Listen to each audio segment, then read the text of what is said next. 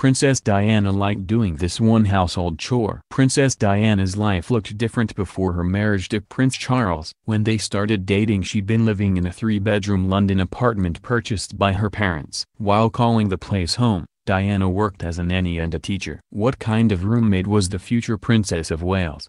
A good one. She reportedly liked to keep the apartment clean. Per the podcast, You're Wrong About, journalist and royal biographer Andrew Morton wrote in his book, Diana, in her own words, that Diana liked washing dishes when she lived in the apartment. Diana kept a low profile, according to Morton's book. And she took it upon herself to organize a cleaning schedule for the apartment. She put herself in charge of cleanup duty and was known to rise before the meal was finished to clear the table rather than endure the sight of dirty dishes. He wrote. Not only that but on one occasion Diana arrived home from a date to find her roommate having dinner with a friend. Despite not sharing the meal together, Diana helped with the dishes. In addition to washing dishes, Diana liked doing the laundry. She also offered to iron shirts for friends. Diana's roommate Caroline Bartholomew remembered Diana keeping the apartment in order. Per the Sun. She always had the rubber gloves on as she clucked about the place,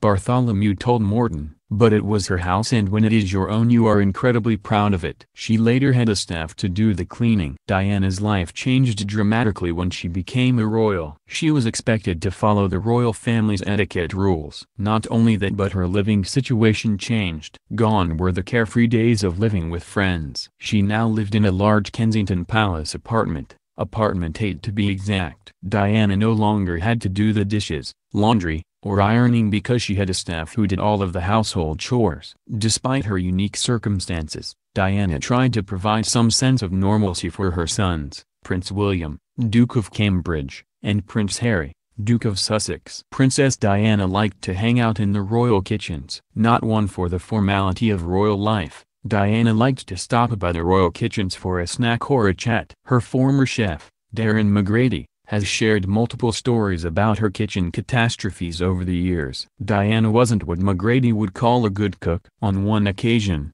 Diana almost burned down Kensington Palace,